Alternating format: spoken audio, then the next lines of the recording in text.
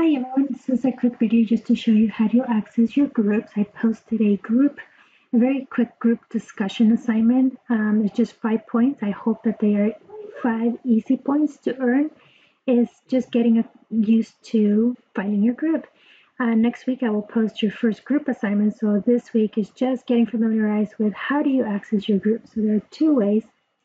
You can go over here when you're on our homepage. You can go to groups on the Canvas menu. So you will see the ARC logo, then your account, dashboard, courses, groups. Yours may be organized different than mine, but you, you will see groups and you can click that. And once you click that, it will show you what groups you're in. So if I click on mine, it will just show me a bunch of uh, committees and commitments that I'm on.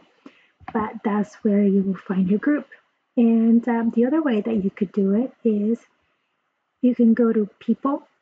So when you go to people, um, it shows you a list of your classmates and myself if you want if you want to contact people, but you'll see February groups. And so these are the groups that you're in. Um, well, you'll find the group that you're in, and um, you'll see the three little dots. Most of them will have locks, and if you if, if there's a lock, it's because it's not your group. Your group will be open and you'll see the three little dots. And so when you click on that, you'll see visit group homepage. So go to visit group homepage and that takes you to your group. And then you will be able to see any announcements, pages, people in your group, discussions, files, collaborations. So you'll be using discussions and that's where you will find your first group assignment, which is really just um, introduce yourself to the group, get this discussion going. Once you get a group assigned um, assignment, then you will go to collaborations and you can share a Google Doc or a PowerPoint or anything in here.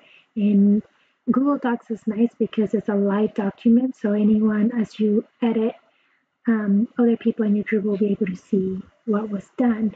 And you can share files and um, but discussions will be where you will be um, communicating with each other and where I can see what kind of work you've been doing. And people, again, shows you the members of your group.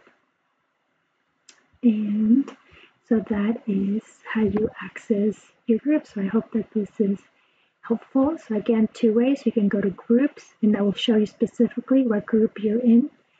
And you can go to people. So those are the two ways you can access your group. Also, possibly in your to-do, you'll be able to see a, so you should see on your to-do here something about a group this introduction. And um, that will take you directly to your group homepage. All right, I hope that you um, take a look at that this week. That assignment, just a very brief introduction to your group is due on Thursday.